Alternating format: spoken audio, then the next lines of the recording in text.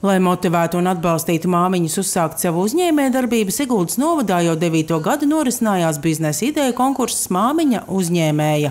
Ik gadu šim konkursam mēs paredzam 12,000, vienai projekta idejai 3,000 atbalsts grantu veidā. Un, svarīgākais nosacījums, ka šeit māmiņai ir jābūt deklarētai mūsu teritorijā, vai arī šim, te, ja ir juridiska persona, tad arī juridiskai adresē jābūt mūsu teritorijā. Un pats svarīgākais ir ka tā ir māmiņa ar bērnu līdz desmit gadu vecumam. Savulaik šajā konkursā piedalījās un atbalstu guva Anastasija Parafiņuka, kura tagad jau izveidojusi savu konditorijas uzņēmumu, un kūku tirgotava Siguldas tirgu tagad ir pat ļoti iecienīta. Bet sākums ir bērnu kopšanas laikā izlolota ideja. Sākās ar pirmā bērna dekretā. Bērnam tagad ir 15, palika nesen.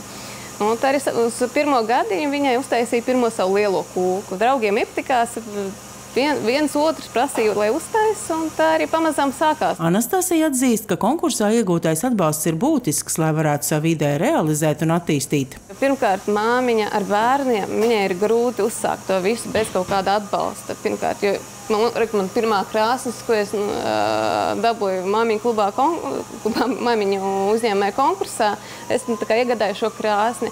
Pati, principā, uz to laiku es nevarētu pavilkt to visu tīri, jo nu, man nav, nebija tāda liela atbalsta. Nu, tā kā, nu, pašai jau dekrētā tu sēdi, tev nav tā, tā, tie ienākumi tik lieli. Pirmkārt, tad jā, bija atspēriens jā, jā, uz kaut ko lielāku, nevis sēdēt uz vietas, bet iet uz kaut ko lielāku. Šogad konkursā māmiņa uzņēmēja atbalstītas četras uzņēmējdarbības idejas.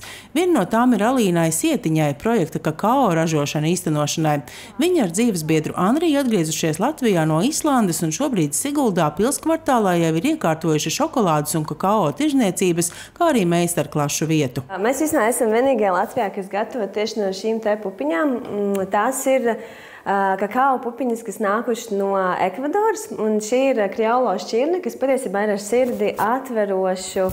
Uh, es teiktu, tādu efektu dēļ anandamīda, kas ir iekšā šajās kakao pupiņās. Mēs ražojam kakao un šokolādi no pašām pupiņām līdz attiecīgi gatavam produktam. No, teiksim, no nulles līdz beigām. Šo iespēju gūt finansējumu savām iecerēm jaunie uzņēmēji vērtē atzinīgi. Tas būs vairāk kā ražošanai un produkcijas izklāšanai arī teiksim, vasaras periodā. Fantastisku iespēju vispār sievietēm, ģimenēm kopīgi attīstīties un veicināt kaut kādu savu sapni vai ideju uz realizāciju. Un, Jā, un es sapratu, ka šis ir kaut kas, ko es ļoti, ļoti vēlos, ko es ļoti gribu.